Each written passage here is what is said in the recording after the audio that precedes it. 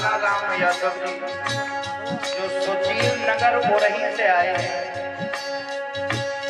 इनके कर कमलों के द्वारा हमारे गले में एक हार पहनाया गया और एक एक फूलों से सजा हुआ हार हमारे सभी साथियों का सम्मान करते हुए हमारे परिचय का भी सम्मान करते हैं। हमारा कहना है इनके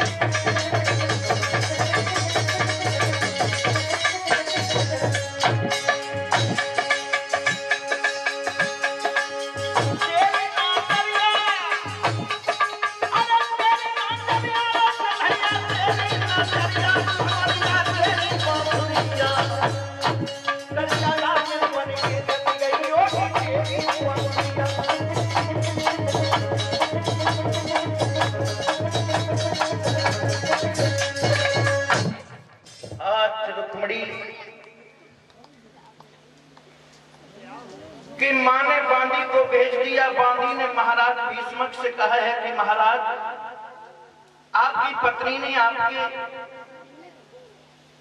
लिए खबर भेजी है, आपको बुलाया है। महाराज भीष्मक, चल दिए। बोलिए, क्या कहोगी? महाराज,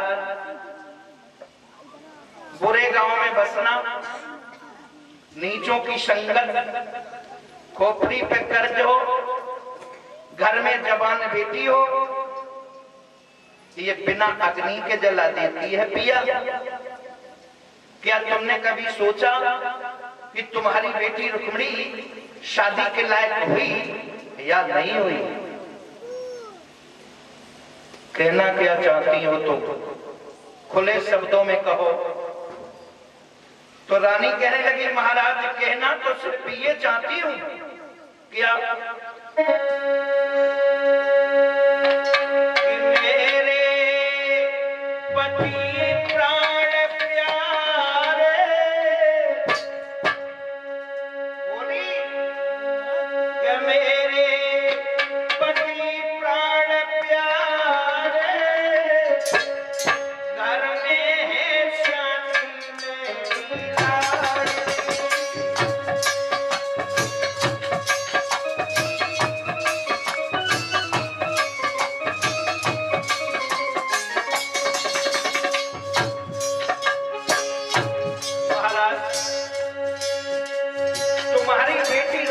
शादी के लायक हो गई है।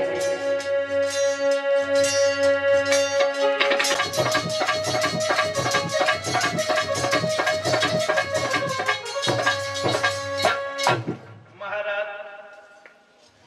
अपनी बेटी का विवाह कर दीजिए। भीष्मक कहने लगे, कोई बात नहीं। हम जाएँगे और आज सभा में बैठ करके ये सलाह ज़रूर करेंगे। महाराज भीष्मक चले। दरबार में पहुँचे और कहने लगे, मेरे भाइयों, दरबार में बैठे हुए आज सब लोग बराबर के हो। कोई भी छोटा बड़ा नहीं है। वो सबको बोलने का अधिकार है।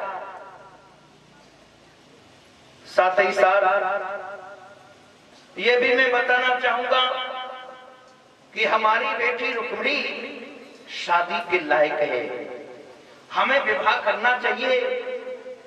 हम कोई अपने मुँह से फैसला नहीं करना चाहता।